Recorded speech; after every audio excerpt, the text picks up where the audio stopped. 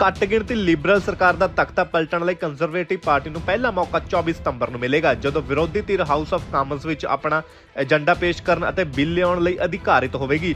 ਸੂਤਰਾਂ ਨੇ ਦੱਸਿਆ ਕਿ ਮੰਗਲਵਾਰ ਨੂੰ ਇਹ ਮਤਾ ਪੇਸ਼ ਕੀਤਾ ਜਾਂਦਾ ਹੈ ਤਾਂ ਇਸ ਤੇ ਬਹਿਸ ਮਗਰੋਂ 25 ਸਤੰਬਰ ਨੂੰ VOTING ਹੋ ਸਕਦੀ ਹੈ। VOTING ਦੌਰਾਨ ਜਸਟਿਨ ਟਰੂਡੋ ਦੀ ਅਗਵਾਈ ਵਾਲੀ ਸਰਕਾਰ ਬਹੁਮਤ ਸਾਬਤ ਨਾ ਕਰ ਸਕੀ ਤਾਂ ਚੋਣਾਂ ਦਾ ਐਲਾਨ ਹੋ ਜਾਵੇਗਾ। ਹੁਣ ਮਸਲਾ ਇਹ ਪੈਦਾ ਹੁੰਦਾ ਹੈ ਕਿ ਕੰਜ਼ਰਵੇਟਿਵ ਪਾਰਟੀ ਨੂੰ ਬੇਵਸਾਈ ਮਤਾ ਪਾਸ ਕਰਾਉਣ ਲਈ ਐਨਡੀਪੀ ਅਤੇ ਬਲਾਕ ਕਿਊਬੈਕ ਦੋਹਾਂ ਦੀ ਹਮਾਇਤ ਦੀ ਲੋੜੀਂਦੀ ਹੋਵੇਗੀ। ਉਧਰ ਪ੍ਰਧਾਨ ਮੰਤਰੀ ਜਸਟਿਨ ਟਰੂਡੋ ਅਗਲੇ ਹਫ਼ਤੇ ਸੰਯੁਕਤ ਰਾਸ਼ਟਰ ਦੀ ਜਨਰਲ ਅਸੈਂਬਲੀ ਵਿੱਚ ਸ਼ਾਮਲ ਹੋਣ ਲਈ ਨਿਊਯਾਰਕ ਸ਼ਹਿਰ ਜਾ ਰਹੇ ਨੇ, ਜਿਸ ਤੋਂ ਅੰਦਾਜ਼ਾ ਲਾਇਆ ਜਾ ਸਕਦਾ ਕਿ ਬੇਵਸਾਈ ਮਤੇ ਤੇ VOTING ਹੋਣ ਦੀ ਸੂਰਤ ਵਿੱਚ ਉਹ ਗੈਰ ਹਾਜ਼ਰ ਹੋਣਗੇ। ਇਸੇ ਦੌਰਾਨ ਸਿਆਸੀ ਮਾਹਿਰਾਂ ਦਾ ਕਹਿਣਾ ਹੈ ਕਿ ਭਾਵੇਂ ਜਗਮੀਤ ਸਿੰਘ ਘੱਟ ਗਿਣਤੀ ਸਰਕਾਰ ਤੋਂ ਹਮਾਇਤ ਵਾਪਸ ਲੈ ਚੁੱਕੇ ਨੇ ਪਰ ਬੇਵਸਾਈ ਮਤਾ ਆਉਣ ਦੀ ਸੂਰਤ ਵਿੱਚ ਕੰਜ਼ਰਵੇਟਿਵ ਪਾਰਟੀ ਦਾ ਸਾਥ ਨਹੀਂ ਦੇਣਗੇ। ਦੂਜੇ ਪਾਸੇ ਬਲਾਕ ਕਿਊਬੈਕ ਵੀ ਜਲਦ ਚੋਣਾਂ ਕਰਵਾਏ ਜਾਣ ਦੇ ਪੱਖ ਵਿੱਚ ਨਜ਼ਰ ਨਹੀਂ ਆ ਰਹੀ ਅਤੇ ਟਰੂਡੋ ਸਰਕਾਰ ਨਾਲ ਕਈ ਮਸਲਿਆਂ ਤੇ ਮਤਭੇਦ ਹੋਣ ਦੇ ਬਾਵਜੂਦ ਬੇਵਸਾਈ ਮਤੇ ਤੋਂ ਟਾਲਾ ਵੱਟ ਸਕਦੀ ਹੈ। ਬਲਾਕ ਕਿਊਬੈਕ ਦੇ ਆਗੂ ਫਰਾਂਸਵਾ ਬਲੈਂਚੇਟ ਨੇ ਇੱਕ ਇੰਟਰਵਿਊ ਦੌਰਾਨ ਕਿਹਾ ਸੀ ਕਿ ਉਹਨਾਂ ਦੀ ਪਾਰਟੀ ਅੱਖਾਂ ਬੰਦ ਕਰਕੇ ਵੋਟ ਨਹੀਂ ਪਾਵੇਗੀ। ਕਿਊਬੈਕ ਵਾਸਤੇ ਕੁਝ ਖਾਸ ਐਲਾਨ ਹੁੰਦੇ ਨੇ ਤਾਂ ਟੋਰੀਆਂ ਦਾ ਸਾਥ ਦਿੱਤਾ ਜਾ ਸਕਦਾ ਹੈ ਅਤੇ ਅਜਿਹਾ ਨਾ ਹੋਣ ਦੇ ਮਤੇ ਤੋਂ ਦੂਰ ਹੀ ਰਹਾਂਗੇ। ਇੱਥੇ ਦੱਸਣਾ ਬਣਦਾ ਹੈ ਕਿ ਮੌਂਟਰੀਅਲ ਦੇ ਅਤੇ ਵਿਨੀਪੈਗ ਦੀਆਂ ਜ਼ਿਮਨੀ ਚੋਣਾਂ ਵਿੱਚ ਲਿਬਰਲ ਪਾਰਟੀ ਦੀ ਹਾਰ ਮਗਰੋਂ ਲੋਕ ਰਾਏ ਸਭ ਦੇ ਸਾਹਮਣੇ ਆ ਚੁੱਕੀ ਹੈ, ਪਰ ਪ੍ਰਧਾਨ ਮੰਤਰੀ ਜਸਟਿਨ ਟਰੂਡੋ ਹੁਣ ਵੀ ਹਾਲਾਤ ਠੀਕ ਹੋਣ ਦੀ ਉਮੀਦ ਕਰ ਰਹੇ ਨੇ। ਦੂਜੇ ਪਾਸੇ ਕੰਜ਼ਰਵੇਟਿਵ ਪਾਰਟੀ ਦੇ ਆਗੂ ਪੀਅਰੇ ਪੋਲੀਐਵ ਇੱਕ ਸਾਲ ਉਡੀਕ ਕਰਨ ਦੇ ਮੂਡ ਵਿੱਚ ਨਜ਼ਰ ਨਹੀਂ ਆਉਂਦੇ ਅਤੇ ਜਲਦ ਤੋਂ ਜਲਦ ਚੋਣਾਂ ਕਰਵਾਉਂਦੇ ਪ੍ਰਧਾਨ ਮੰਤਰੀ ਦੀ ਕੁਰਸੀ ਸੰਭਾਲਣਾ ਚਾਹੁੰਦੇ ਨੇ। ਕੈਨੇਡੀਅਨ ਸੰਸਦ ਦੇ ਬਾਹਰ ਗੁੰਡਾਗਰਦੀ ਦਾ ਨੰਗਾ ਨਾਚ ਦੇਖਣ ਨੂੰ ਮਿਲਿਆ, ਜਦੋਂ ਮੁਜ਼ਾਹਰਾਕਾਰੀ ਐਨਡੀਪੀ ਆਗੂ ਜਗਮੀਤ ਸਿੰਘ ਦੇ ਪਿੱਛੇ ਪੈ ਗਏ ਅਤੇ ਭੱਦੀ ਸ਼ਬਦਾਵਲੀ ਦੀ ਵਰਤੋਂ ਕਰਦੇ ਭ੍ਰਿਸ਼ਟਾਚਾਰੀ ਕਹਿਣ ਲੱਗੇ, ਜਗਮੀਤ ਸਿੰਘ ਨੇ ਮੁਜ਼ਾਹਰਾਕਾਰੀਆਂ ਦਾ ਟਾਕਰਾ ਕੀਤਾ ਤਾਂ ਉਹਨਾਂ ਦੀ ਸਰ ਨਰਮ ਹੋ ਗਏ। ਇਤਰਾਜ਼ਯੋਗ ਸ਼ਬਦਾਂ ਦੀ ਵੀ ਵਰਤੋਂ ਕੀਤੀ ਹੋਣ ਤੋਂ ਸਾਫ਼ ਮੁੱਕਰ ਗਏ। ਸੋਸ਼ਲ ਮੀਡੀਆ ਤੇ ਵਾਇਰਲ ਹੋ ਰਹੀ ਵੀਡੀਓ ਵਿੱਚ ਦੇਖਿਆ ਜਾ ਸਕਦਾ ਹੈ ਕਿ ਕੈਨੇਡੀਅਨ ਸੰਸਦ ਦੀ ਪਾਰਕਿੰਗ ਵਿੱਚੋਂ ਬਾਹਰ ਆ ਰਹੇ ਜਗਮੀਤ ਸਿੰਘ ਦਾ ਪਿੱਛਾ ਹੋਣ ਲੱਗਦਾ ਹੈ ਅਤੇ ਘੱਟੋ-ਘੱਟ ਭ੍ਰਿਸ਼ਟਾਚਾਰੀ ਭ੍ਰਿਸ਼ਟਾਚਾਰੀ ਕਹਿੰਦੇ ਹੋਏ ਐਨਡੀਪੀ ਆਗੂ ਦੇ ਪਿੱਛੇ ਜਾਣ ਲੱਗਦੇ ਨੇ। ਦੋਹਾਂ ਵਿੱਚੋਂ ਇੱਕ ਜਗਮੀਤ ਸਿੰਘ ਨੂੰ ਸਵਾਲ ਕਰਦਾ ਹੈ ਕਿ ਜਸਟਿਨ ਟਰੂਡੋ ਦੀ ਸਰਕਾਰ ਵਿਰੁੱਧ ਬੇਵਸਾਈ ਮਤਾ ਆਉਣ ਤੇ ਕੀ ਉਹ ਮਤੇ ਦੀ ਹਮਾਇਤ ਕਰਨਗੇ? ਇਸੇ ਦੌਰਾਨ ਜਗਮੀਤ ਸਿੰਘ ਮੁਜ਼ਾਹਰਾਕਾਰੀਆਂ ਵੱਲੋਂ ਮੁੜਦੇ ਹੋਏ ਦਬਕਾ ਮਾਰਦੇ ਨੇ ਕਿ ਕੌਣ ਗਲਤ ਬੋਲ ਰਿਹਾ ਹੈ? ਜਗਮੀਤ ਸਿੰਘ ਉਹਨਾਂ ਨੂੰ ਡਰਪੋਕ ਵੀ ਕਹਿੰਦੇ ਨੇ, ਜੋ ਮੂੰਹ ਤੇ ਗੱਲ ਕਰਨ ਤੋਂ ਡਰ ਗਏ।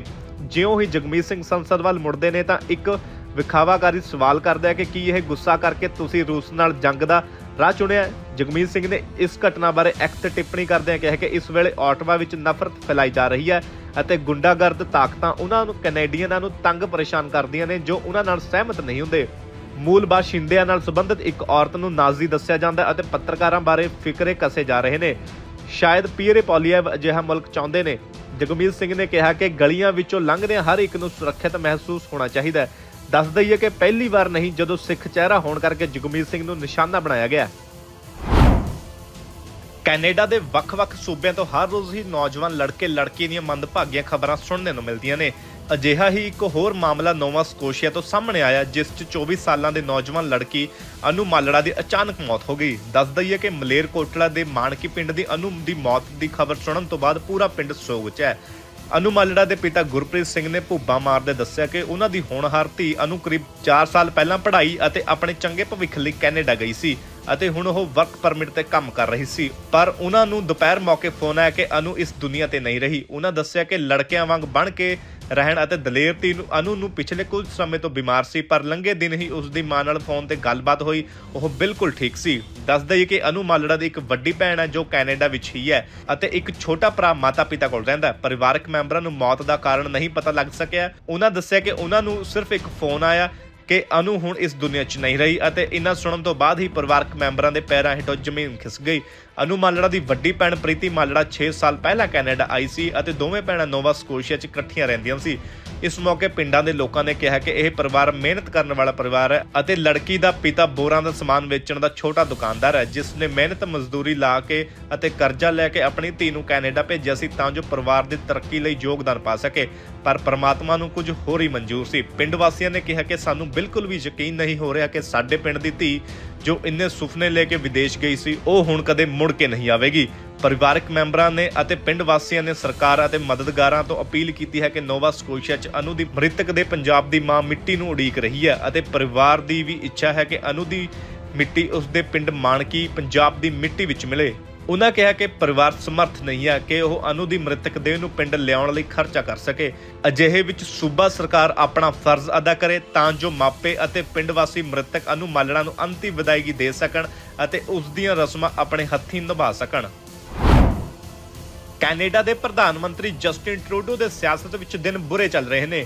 ਐਨਡੀਪੀ ਦੇ ਜਗਮੀਤ ਸਿੰਘ ਵੱਲੋਂ ਹਮਾਇਤ ਵਾਪਸ ਲੈਣ ਤੋਂ ਬਾਅਦ ਇੱਕ ਇੱਕ ਐਮਪੀ ਸਰਕਾਰ ਲਈ ਜ਼ਰੂਰੀ ਹੈ। ਅਜਿਹੇ ਵਿੱਚ ਖਬਰ ਆਈ ਕਿ ਟਰੂਡੋ ਦੀ ਲਿਬਰਲ ਪਾਰਟੀ ਆਪਣੇ 10 ਸਾਲ ਪੁਰਾਣੇ ਗੜ ਵਿੱਚੋਂ ਜਿਮਨੀ ਚੋਣ ਹਾਰ ਗਈ ਹੈ। ਇਸ ਤੋਂ ਬਾਅਦ ਟਰੂਡੋ ਦੇ ਅਸਤੀਫੇ ਦੀ ਮੰਗ ਹੋ ਰਹੀ ਹੈ। ਕੈਨੇਡਾ ਦੇ ਲਾਸੇਲਾ ਇਮਰਦ ਵਿਰਦਮ ਲਿਬਰਲ ਪਾਰਟੀ ਦਾ ਗੜ ਮੰਨਿਆ ਜਾਂਦਾ ਸੀ, ਪਰ ਟਰੂਡੋ ਦੀ ਪਾਰਟੀ ਕਿਊਬਕ ਨੈਸ਼ਨਲਿਸਟ ਹਲਕੇ ਵਿੱਚੋਂ 248 ਵੋਟਾਂ ਨਾਲ ਹਾਰ ਗਈ। ਇਸ ਤੋਂ ਪਹਿਲਾਂ ਟਰੂਡੋ ਦੀ ਪਾਰਟੀ ਜੂਨ ਮਹੀਨੇ ਵਿੱਚ ਟ੍ਰਾਂਟੋ ਦੇ Saint Paul seat Conservative Party ਤੋਂ ਹਾਰ ਗਈ ਸੀ। ਇਸ ਸੀਟ ਨੂੰ ਲਿਬਰਲ ਪਾਰਟੀ 30 ਸਾਲ ਤੋਂ ਜਿੱਤ ਰਹੀ ਸੀ। ਕੰਜ਼ਰਵੇਟਿਵ ਦੇ ਡਾਨ ਸਟੀਵਰਟ ਨੂੰ 42.11% ਦੀ ਵੋਟ ਮਿਲੇ ਸਨ, ਜਦਕਿ ਲਿਬਰਲਸ ਨੂੰ ਸਿਰਫ 40% ਦੀ ਵੋਟ ਮਿਲੇ ਸੀ। ਕਿਊਬਕ ਦੀ ਆਜ਼ਾਦੀ ਦੀ ਵਕਾਲਤ ਕਰਨ ਵਾਲੇ ਪਾਰਟੀ ਬਲਾਕ ਕਿਊਬੇਕੋਇਸ ਦੇ ਮੈਂਬਰ ਸੋਵੇ ਨੇ ਭਾਵੇਂ ਹੀ ਤਿੰਨ ਪੱਖੀ ਮੁਕਾਬਲਾ ਸਿਰਫ ਕੁਝ ਹੀ ਵੋਟਾਂ ਦੇ ਫ਼ਰਕ ਨਾਲ ਜਿੱਤਿਆ ਹੋਵੇ, ਪਰ ਉਹ ਲਿਬਰਲਾਂ ਦੀ ਘਟਦੀ ਮਕਬੂਲੀਅਤ ਦਾ ਪਰਦਾਫਾਸ਼ ਕਰਨ ਵਿੱਚ ਸਫਲ ਰਿਹਾ।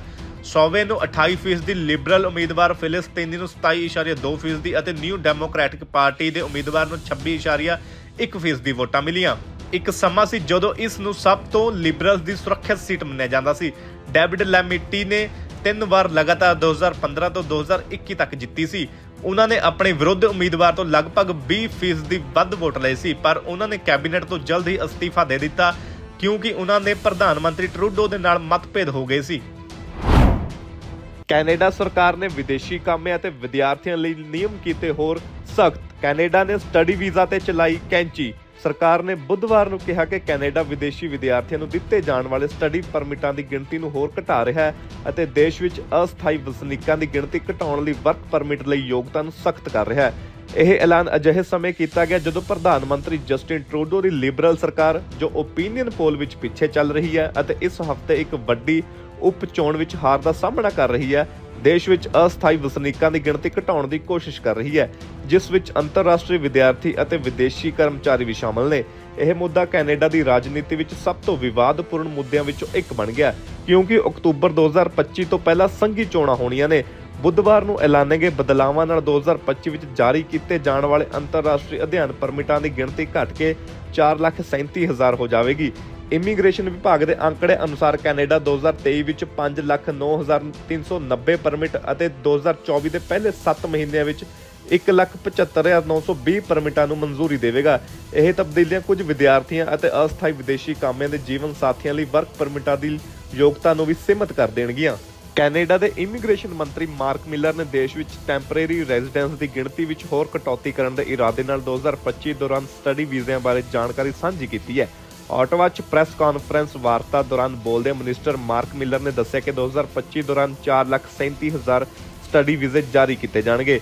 ਦੱਸਣਯੋਗ ਹੈ ਕਿ ਫੈਡਰਲ ਸਰਕਾਰ ਨੇ ਪਹਿਲਾਂ ਸਟੱਡੀ ਪਰਮਿਟਾਂ ਦੀ ਗਿਣਤੀ ਨੂੰ 2023 ਦੀ ਗਿਣਤੀ ਤੋਂ 35% ਤੱਕ ਘੱਟ ਕਰਨ ਦਾ ਐਲਾਨ ਕੀਤਾ ਸੀ। ਕੈਨੇਡਾ ਦੀ ਸਟੱਡੀ ਵੀਜ਼ੇ ਦੀ ਅਰਜ਼ੀ ਨੂੰ ਪ੍ਰਮੁੱਖ ਤੌਰ ਤੇ ਦੋ ਸ਼੍ਰੇਣੀਆਂ ਸਟੂਡੈਂਟਸ ਡਾਇਰੈਕਟ ਸਟਰੀਮ ਅਤੇ ਨਾਨ ਸਟੂਡੈਂਟ ਡਾਇਰੈਕਟ ਸਟਰੀਮ ਵਿੱਚ ਵੰਡਿਆ ਗਿਆ ਹੈ। ਸਟੂਡੈਂਟ ਡਾਇਰੈਕਟ ਸਟਰੀਮ ਲਈ ਬਿਨੈਕਾਰ ਨੂੰ 1 ਸਾਲ ਦੀ ਫੀਸ ਅਤੇ 20000 ਡਾਲਰ GIC ਭਰਨੇ ਪੈਂਦੇ ਸੀ। ਇਸ ਵਿੱਚ ਵਿਦਿਆਰਥੀਆਂ ਨੂੰ ਮਨਜ਼ੂਰਸ਼ੁਦਾ ਟੈਸਟ ਦੇ ਹਰੇਕ ਮੋਡਿਊਲ 'ਚ 6 ਬੈਂਡ ਲੈਣੇ ਪੈਂਦੇ ਸੀ। ਇਸ ਮੌਕੇ ਮਿਨਿਸਟਰ ਮਿਲਰ ਨੇ ਅੰਤਰਰਾਸ਼ਟਰੀ ਵਿਦਿਆਰਥੀਆਂ ਦੇ ਪਤੀ ਪਤਨੀਆਂ ਨੂੰ ਹੀ ਓਪਨ ਵਰਕ ਪਰਮਿਟ ਦੇ ਪਾਲਿਸੀ ਦਾ ਵੀ ਜ਼ਿਕਰ ਕੀਤਾ। ਮੰਤਰੀ ਨੇ ਐਲਾਨ ਕੀਤਾ ਕਿ ਜਿਹੜੇ ਅੰਤਰਰਾਸ਼ਟਰੀ ਵਿਦਿਆਰਥੀਆਂ ਮਾਸਟਰ ਡਿਗਰੀ ਪ੍ਰੋਗਰਾਮ ਤੋਂ ਲੰਬਾਈ 16 ਮਹੀਨੇ ਤੋਂ ਵੱਧ ਹੋਵੇਗੀ, ਉਹਨਾਂ ਦੇ ਸਪਾਊਸ ਹੀ ਓਪਨ ਵਰਕ ਪਰਮਿਟ ਲਈ ਯੋਗ ਹੋਣਗੇ। ਮੰਤਰੀ ਨੇ ਅੱਜ ਐਲਾਨ ਕੀਤਾ ਕਿ 1 ਨਵੰਬਰ ਤੋਂ ਬਾਅਦ post graduation work permit apply ਕਰਨ ਵਾਲੇ ਬਿਨੈਕਾਰ ਨੂੰ ਫ੍ਰੈਂਚ ਜਾਂ ਅੰਗਰੇਜ਼ੀ ਵਿੱਚ ਘੱਟੋ-ਘੱਟ ਭਾਸ਼ਾ ਦੀ ਮੁਹਾਰਤ ਦਾ ਪ੍ਰਦਰਸ਼ਨ ਕਰਨ ਦੀ ਲੋੜ ਹੋਵੇਗੀ।